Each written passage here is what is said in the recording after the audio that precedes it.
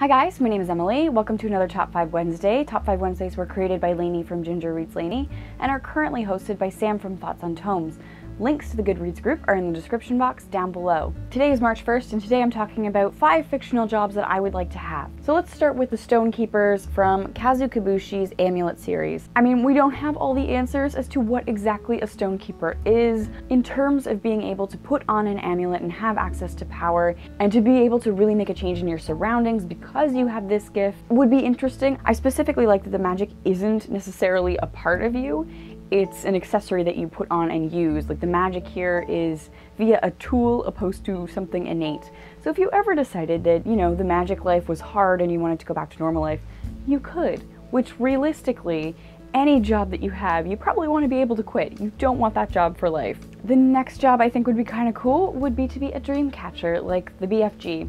Um, so the BFG catches dreams. Having your job basically be entertainment and having your job be making people happy and bringing them joy, I think would be a very fulfilling thing to do. I think your career should do something to bring people joy. At least that's what I want out of a career. I would like to bring people joy with the work that I do. So I think something like this would be ideal for me. So the next job I have here would be magician.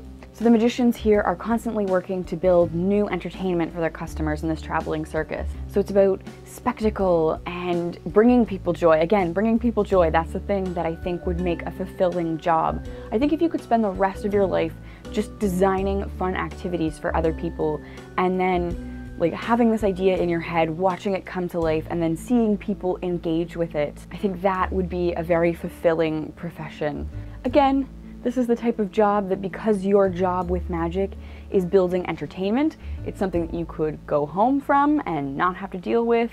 The next job I have here would be Wild Mage. Daine from Tamora Pierce's Immortal series is a wild mage, meaning that she can talk to and heal animals. Her job is definitely a for lifer job. It's a 24-7 job, but I think, again, the joy of being able to interact with your companion animals. I think if you have a pet, you know you do this, you give them a voice. And when they're looking at something, you narrate for them what they're doing. Like if they're really excited about something, like you're the one narrating for them what you think they're thinking. Daine actually gets to know what they're thinking. And I think that would be cool to have companion animals in your life and actually know what they're thinking and to be able to help them when they're sad or hurt, which is perhaps a little naive, little girlish thing, but I mean, if that was your job, like if, if you were a vet, basically, but you could understand the animals, that would be cool. And I think that would be very fulfilling work. So the last job I have here I think would be really fun, and that would be to be the head of like international games,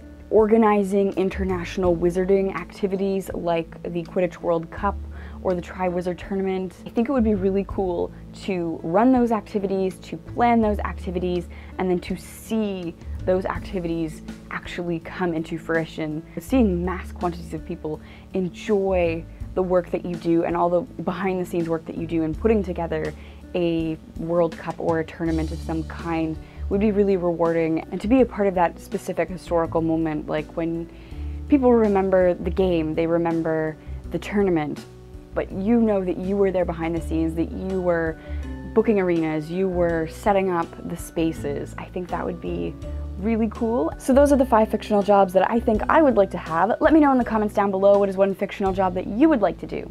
Thank you so much for watching and I will see you soon. Bye.